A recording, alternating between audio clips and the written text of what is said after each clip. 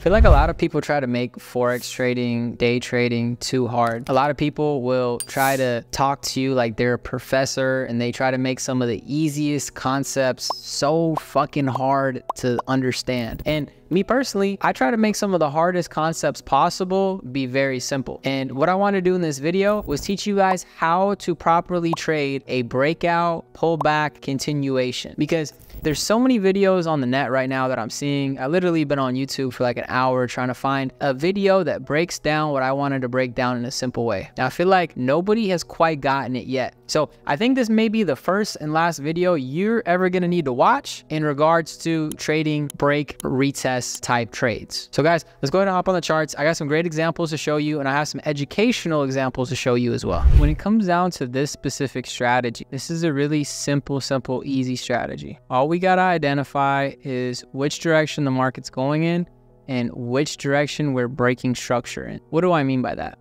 On this pair right now with what we're drawing, we have weak highs that are being broken, aka continuation breaks the structures, and then we have uh, higher lows strong lows. Now, depending on whatever trend you're in, whether it's an uptrend or a downtrend, once price breaks past the previous higher high and puts in a new high like this, all we have to do is wait for a few key things to happen. Step one is we wait for the breakout. In this example, this is a continuation breakout. Step two is we're gonna wait for a correction that retests a deep level off of the previous move. So we have our breakout, we have our retest, and then we have our continuation on the swing.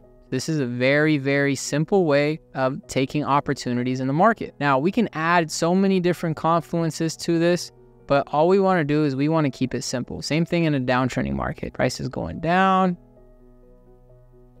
Once we break the last relative lower low, prime example here, once we break that lower low, we're going to wait for price to make a retest of an extreme level of the last move down that put in the new lower low.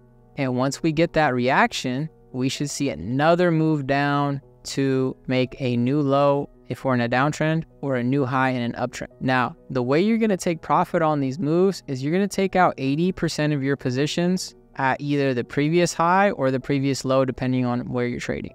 Once price breaks, once price breaks previous higher high, take profit 80, I'm gonna put 70 to 80%. And in a downtrend, what I want you guys to do is same thing, TP 70 slash 80% at previous low. Now, this is by far one of the most easiest, easiest ways to trade. It's not always going to play out in the sense of price coming to the deepest area on the retracement. But if you want to make this even simpler to understand where these extreme areas are, take a Fibonacci tool from the high to the low and then look at this area from the 61, 78, 78.6, 88.6. If this entry lines up with the level of 88.6, it's even better. That's like the best confluence.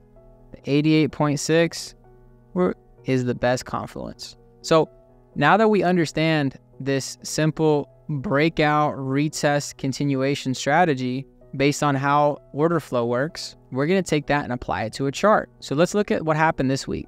This week, we've seen price go down. We're kind of in this big downtrend right here. And then we saw price pull back in between these levels. So we went down, hold back. So right now, these are our previous lows. So once we see that, now all we do is we wait for a continuation to show our direction. These highs, we came down and put in these lows. From these highs, we put in these lows. Now, what we want to wait for is one more confirmation, which is speed. Notice how with speed, we went down. In this level, we went down with a lot of speed. What do I mean by speed? Very simple. From this high to this low, it took six hours, six bars. From this low to where price pulled back to took five days, 22 hours. When price moves with speed, and then once the move is completed, if you see that price is slowly correcting, that's the even best confluence you can get because it's a slow build up leading up to a big explosion. So if we simply take our fib from the high to the low, what we see is we see our extreme zones. Remember, guys, we're looking for these extreme zones. Now, for us, what was the first step that we saw? We saw that price was in this channel. We had our first thing first. We had our breakout. We had our breakout. Perfect. We broke structure. We broke out. Price was doing, price was going up and up and up. And then we, boom, we had a breakout with speed. Then the next thing is, is we want a correction, correction, correction, correction into a extreme area. We wanted to correct into a extreme area and then we wanted to go lower. So forget about the drawings for a second. So step one, we had our breakout move. Step two, we had a slow correction.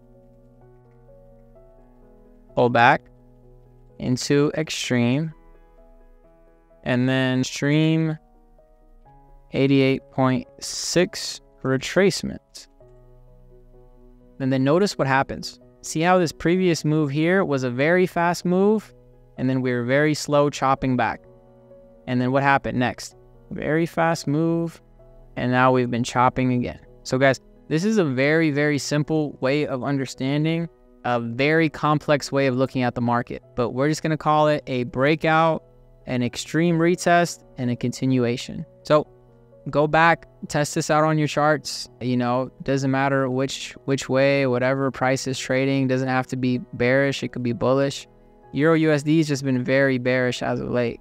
Uh, that's why we went with that one. So guys, there we have it. Taught you guys how the breakout strategy works. Instead of taking something very complex and adding order blocks and adding institutional levels and adding all this, that, and the third, we took some of the most complex trading styles within order flow, within extreme levels, and we broke it down into like a two, three, four step system. Waiting for a big breakout with speed, waiting for a slow correction, a pullback, waiting to get in on an extreme entry off the fib, and then taking that trade trade in that direction and cashing out. So guys, hope you enjoyed that video. Leave a like, comment, subscribe, give us some feedback. We're always down to answer questions. And then honestly, if you guys want to see any specific videos on any specific topic, leave it down below in the comments. We're going to read the comments and we're going to give you guys more of what you want. Y'all take it easy. Join the fucking Discord.